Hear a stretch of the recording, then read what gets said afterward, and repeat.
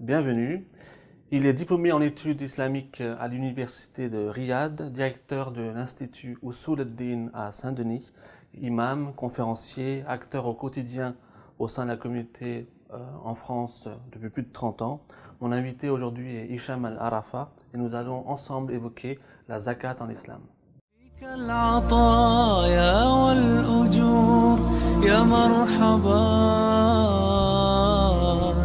العطايا والأجور يا مرحبا يا مرحبا زين الشهور Assalamu alaikum, Sheikh. Wa alaykoum salam wa rahmatullah. Bienvenue dans nos, dans nos studios Merci. pour un nouvel entretien autour de, de la, de la zakat. Alors, qu'est-ce que la, la zakat Alors, bismillah ar-Rahman ar-Rahim, alhamdulillah, wa salatu wa salam ala rasulillah. Alors, la zakat désigne d'abord ce que tous les musulmans euh, comprennent du terme, c'est ce que le musulman doit donner euh, de son argent une fois par an. Bien sûr, il y a un certain nombre de règles sur lesquelles nous reviendrons. Mais c'est peut-être important d'abord de comprendre l'esprit de la zakat au-delà de la règle. Mhm. C'est que Allah subhanahu wa ta'ala euh, sait parfaitement, et, nous le voyons, que les êtres humains n'auront pas les mêmes occasions, les mêmes possibilités, les mêmes moyens euh, d'acquérir de quoi vivre dans la vie. Et donc forcément, dans les sociétés, quelles qu'elles soient, quelle que soit leur euh, bonne volonté, il va y avoir des écarts et des sortes d'inégalités sociales. Et donc, Allah subhanahu a prévu euh, dans le message de l'islam, dans le Coran, puisque c'est pas un message justement qui tend à relier l'être humain à son créateur et puis en abandonnant les êtres humains chacun à leur sort, mais c'est également un message qui veut que cette relation avec Allah subhanahu wa ta'ala se traduit, se répercute sur les relations quotidiennes entre nous. Donc Allah subhanahu wa ta'ala a prévu à travers les zakat un moyen de réduire ces, ces inégalités et même de mettre en place un système euh, complet pour lui livrer une guerre sans merci. Et d'ailleurs, le- dans l'histoire musulmane, et lorsque la zakat n'était pas donnée comme on le fait aujourd'hui, de main en main d'individu à individu, mais qu'elle euh, était aussi bien prélevée que distribuée par une administration, eh bien la zakat a réussi à euh, combattre réellement les inégalités dans la société musulmane. Et la zakat, quand on parle de zakat, là on parle de zakat al-mal. Oui. Alors, zak- alors le mot zakat euh, couvre tous les biens que l'être humain peut posséder. Mhm. C'est vrai qu'aujourd'hui, ce qui nous concerne, nous, en premier lieu, c'est euh, l'argent qu'on possède, la monnaie qu'on a, la liquidité ou l'argent d'une manière générale. Mais ça portait, bien sûr, et ça porte toujours sur les produits agricoles, sur euh, euh, toutes sortes de richesses. Et ça porte également sur les moyens par lesquels on peut gagner euh, de l'argent. C'est-à-dire les fonctions libérales aujourd'hui euh, sont également, celui qui est dans ce genre d'activité, il est soumis bien sûr sur les biens qu'il acquiert à, à la zakat. Il y a une façon de, calculer, de- d'évaluer un peu ce qu'il doit euh, donner et qui, est, euh, et qui couvre donc pratiquement tous les biens que l'être humain peut posséder. Certainement, ça couvre essentiellement les biens qui sont euh, destinés à produire et non pas les biens qu'on utilise pour sa propre, pour son propre usage, sa maison par exemple. Par contre, une maison qui, qui est destinée à être louée et qui donc va rapporter euh, un bénéfice, elle, elle est concernée par la zakat. Alors j'ai plein de questions qui sont justement préparées, mais pour la fin de la séquence, euh, justement, au, au- au fait de pouvoir calculer la zakat et comment est-ce qu'on la calcule. Juste avant d'y venir, euh, peut-être un rappel quant au- à l'inscription du zakat dans le Coran, peut-être un, un- un- au zakat dans le temps, quand est-ce que ça se fut révélé, quand, est-ce que ce fut instauré, dans quelles circonstances? Alors, la zakat a été euh, explicitement prescrite environ une quinzaine d'années après le début de l'islam, c'est-à-dire à Médine, deux ans après l'arrivée du prophète sallam et de la communauté musulmane à Médine. Mais l'esprit d'entraide, de générosité, il a été annoncé dès les, les premières révélations. Allah subhanahu wa ta'ala est généreux, il appelle à la générosité. Et il incite l'être humain à l'être. Dès la 17e sourate révélée euh, dans le Coran, qui a été révélée au tout début de, la révélation du message à la Mecque, Allah subhanahu wa ta'ala, dans une sourate que beaucoup connaissent, Ara'aita alladhi yukadhibu bid-din, as-tu vu celui qui traite de mensonge euh, ou la religion, ou bien le jour du jugement, puisque ce mot din renvoie aux deux, فذلك الذي يدع اليتيم c'est lui qui repousse l'orphelin ولا يحض على طعام المسكين et qui n'incite pas, qui n'encourage pas à aider euh, celui qui est dans le besoin. Donc on voit dès le début que Allah subhanahu wa ta'ala associe dans le Coran cette attitude d'indifférence ou même de violence euh, visible ou latente vis-à-vis de, des besoins des gens, il la colle, il l'associe à une attitude de rejet de la foi, de Dieu, de la religion et du jour du jugement. Et donc, euh, cet esprit-là était préparé déjà à la Mecque. Arrivé à Médine, le prophète sallallahu alayhi wa sallam, euh, dès les premières semaines, il a remarqué bien sûr qu'il y avait quelques centaines qui sont arrivés de la Mecque et qui étaient complètement dépourvus puisqu'ils avaient laissé tous leurs moyens et leurs biens euh, à la Mecque. Donc il a lancé un appel à ce que les Médinois prennent en charge chacun un Mécois. Et on a vu d'ailleurs là un, phénomène qui n'a pas d'égal dans l'histoire. Jamais une communauté n'a pris en charge de cette manière-là et à l'échelle individuelle euh, une autre communauté. L'exemple qui me vient à l'esprit, qui ressemblerait à celui-là, mais qui s'est appliqué, qui s'est pratiqué à une échelle collective, c'est la réunification des deux Allemagnes. Mmh. Il y a euh, un peu plus de dix ans. Et donc, euh, mais c'est un exemple euh, où on voit que le prophète, sallallahu alayhi wa sallam, insistait à ce que les musulmans soient attentifs et, réactifs vis-à-vis -vis des besoins des, de leurs frères et des gens autour d'eux.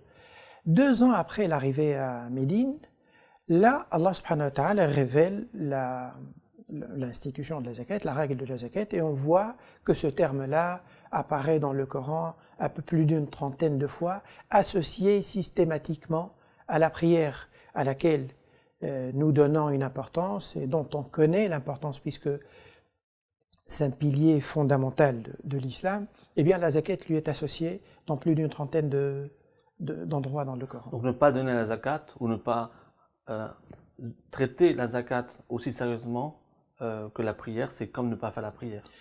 Euh, c'est comme ne pas faire la prière. Effectivement, c'est comme ne pas faire la prière. Et d'ailleurs, il faut savoir qu'après la mort du prophète sallallahu alayhi wa sallam, euh, le calife qui a pris la relève après lui, qui est Abu Bakr il a rencontré une grande difficulté, c'est qu'il y, avait des tribus éloignées du centre de, Médine, du centre de l'Arabie, et qui étaient fraîchement convertis, avaient décidé juste après, juste après la disparition du prophète sallam de ne plus payer la zakat, ce qu'il donnait à l'État avant, qui se chargeait à une administration, qui se chargeait de la redistribution. Et Sayyidina euh, Abu Bakr, après concertation avec les compagnons, a décidé de livrer une bataille à ceux qui euh, empêché la zakat. Pourquoi? C'est pas parce que l'État veut avoir de l'argent, mais parce que ces biens-là sont les biens de, de l'ensemble des musulmans, plus démunis parmi les musulmans.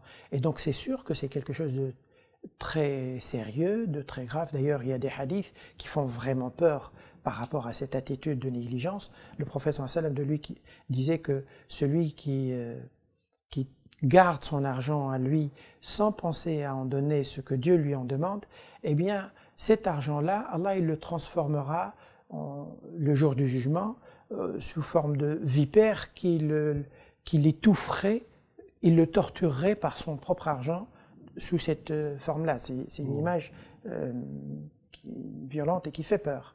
C'est pour dire donc que la question de la zakat n'est pas une question secondaire, c'est un pilier de l'islam, effectivement. Alors aujourd'hui en France, euh, la zakat, euh, qui, doit en, qui en bénéficie? Dans le Coran, Allah subhanahu wa ta'ala énumère huit catégories qui doivent bénéficier de la zakat.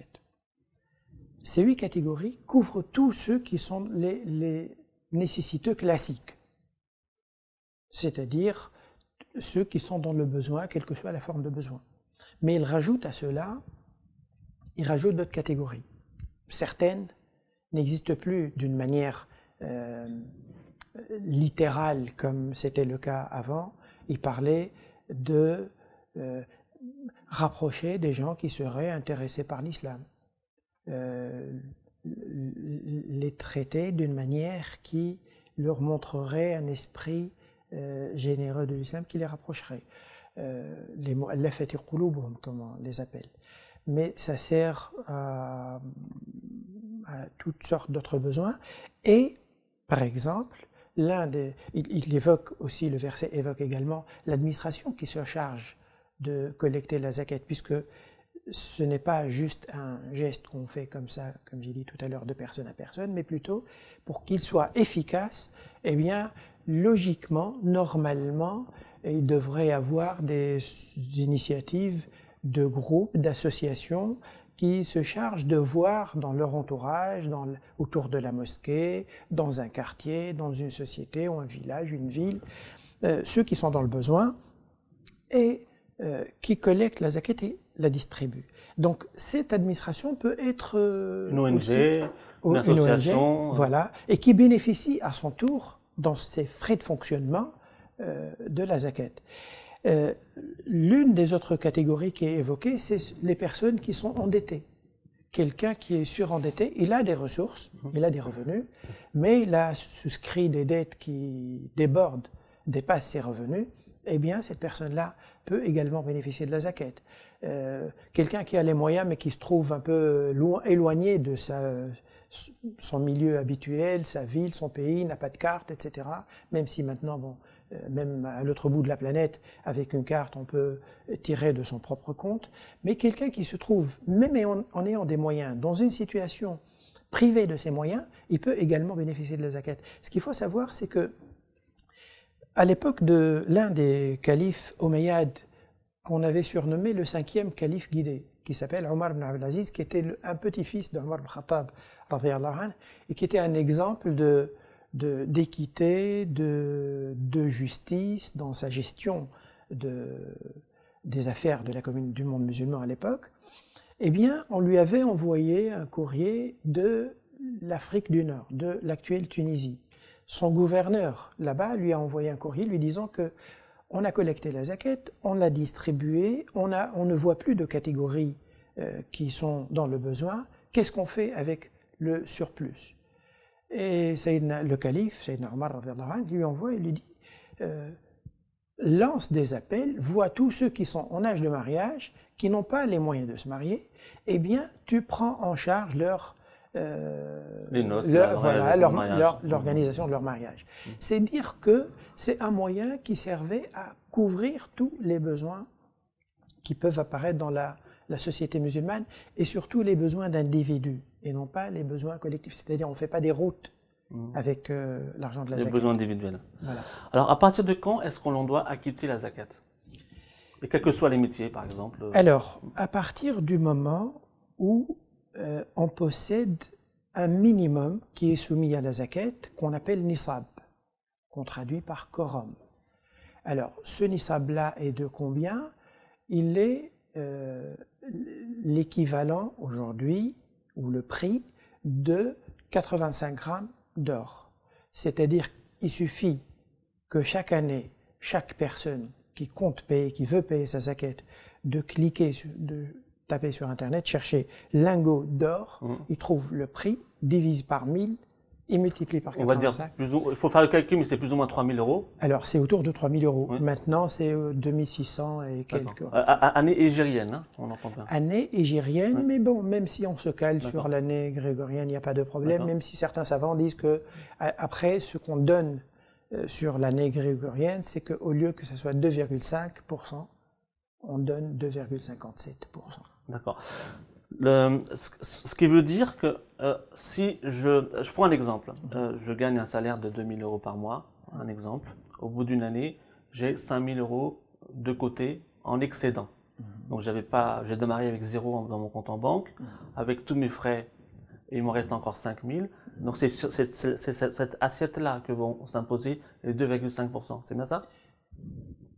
Pas tout à fait ça. Ouais. Alors, c'est. Euh, il y a un mode de calcul qui est proposé par beaucoup de savants aujourd'hui, contemporains, et qui est adopté par un ensemble de fonds de collecte de la zaquette dans différents pays musulmans, en Jordanie, au Koweït, au Soudan, en Malaisie, etc. Et ce mode de calcul, il est proposé justement euh, aux salariés parce que ce- cette façon-là de gagner euh, de l'argent d'une manière régulière une fois par mois est nouvelle. Nouvelle, c'est-à-dire euh, quelques décennies, un siècle. En tout cas, c'était pas à l'époque où le fiqh, la jurisprudence islamique, était élaborée. Donc, cette méthode de calcul consiste à procéder de la manière suivante.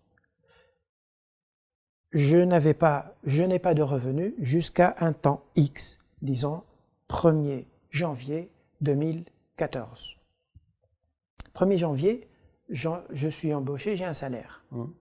Peu importe le salaire. 100 euros, 100 000 euros, ça n'a pas d'importance.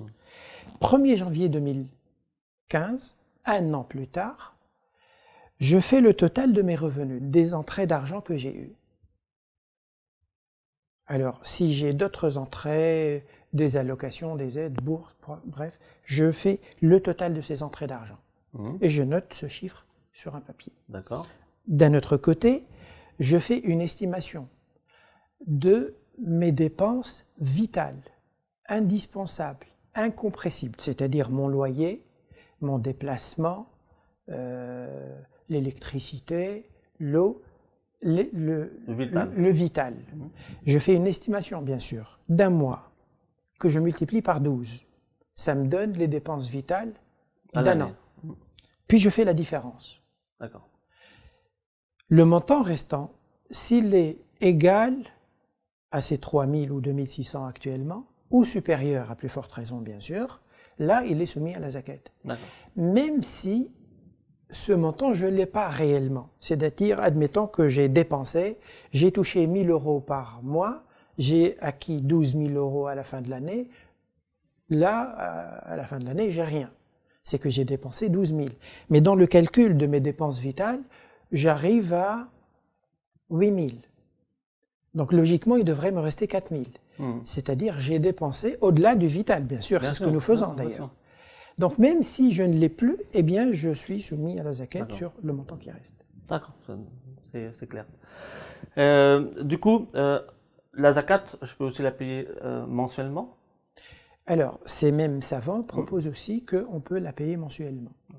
On fait ce calcul et puis on l'échelonne sur plusieurs mois. Et Et, et lorsqu'on dit qu'il faut payer la zakat al-mal pendant le ramadan, c'est pour, euh, pour, pour c'est parce que ça démultiplie C'est quoi la raison du coup? Alors, il n'y a pas de règle réellement, il n'y a pas de délai à payer la zakat, il n'y a pas une période, mais peut-être c'est l'associer à, à quelque chose qui fait qu'on ne l'oublie pas. Parce que Ramadan, c'est le mois de la générosité où on fait des zakats, on fait des sadaqas, et puis on donne zakat al-fitr d'ailleurs à la fin du mois du Ramadan. Et donc c'est peut-être pour ne pas l'oublier, mais sinon, euh, plus tard, plutôt la, la date dans laquelle on doit payer la zakat, c'est plutôt la date dans laquelle, la date anniversaire de, de notre embauche. Bien sûr. Réellement, c'est cette date-là. Euh, une autre question, enfin, euh, j'ai une société et je fais euh, des excédents en fin d'année avec euh, en bas de ligne à droite euh, un excédent positif. Euh, comment s'applique la zakat euh, De la même manière que si De, la même, individu? de- de la même manière que l'individu. C'est-à-dire, je déduis les charges de ma société, le bénéfice qui me reste, eh bien, sur ce bénéfice-là, même si je ne l'ai pas, même si je j'en ai, dépensé une partie pour moi, ou ce bénéfice-là, il est soumis à la zakat de la même manière qu'un individu. Très bien. Euh, la zakat, est-ce que je peux l'envoyer à l'étranger ou est-ce qu'il est considéré de la, de la payer et de les rendre des, les- pardon, de donner ça à des bénéficiaires dans mon entourage ou dans la géographie? Ouais. La règle, c'est qu'on donne la zakat autour de soi, sauf quand on ne voit vraiment personne à qui la donner autour de soi. Là, on peut la donner ailleurs. D'accord. Très bien, euh, ben, barakallahu fik. J'ai une dernière question euh, concernant la zakat al-fitr, du coup, qui est, différente. Alors, Zakat al-Fitr, elle aussi, elle se fait une fois par an. Et comme son nom, Fitr, rupture du jeûne, euh, elle est rattachée au mois du Ramadan et elle se fait à la fin du mois du Ramadan. Euh, bien sûr, elle est euh, minime. Elle n'est pas 2,5% comme la zakat euh, annuelle, la zakat sur les biens. Elle, c'est une zakat qui se fait non pas sur les revenus, mais sur chaque personne qui est à notre charge. C'est-à-dire, je suis père de famille, j'ai ma femme et trois enfants, je paye sur moi, ma femme et les trois enfants. Le montant, c'est l'équivalent de 5 euros par, euh, par personne individu. voilà, qui doit être donnée nécessairement avant la prière de l'Aïd, surtout. On peut la donner même un jour ou deux ou trois euh, jours avant, il n'y a pas de problème, mais il ne faut pas qu'elle soit donnée après la prière de l'Aïd. Et d'ailleurs, même si jamais quelqu'un l'oublie, il doit le faire. Mais malheureusement, elle ne sera pas comptée comme zakat al-fitr. D'accord. Euh, barakallahu fik, Cheikh, Allah pour, cette, barik euh, ce- pour ce partage. Et à très bientôt, Inch'Allah. Wassalamu alaikum wa rahmatullahi wa barakatuh. العطايا والأجور يا مرحبا يا مرحبا زين الشهور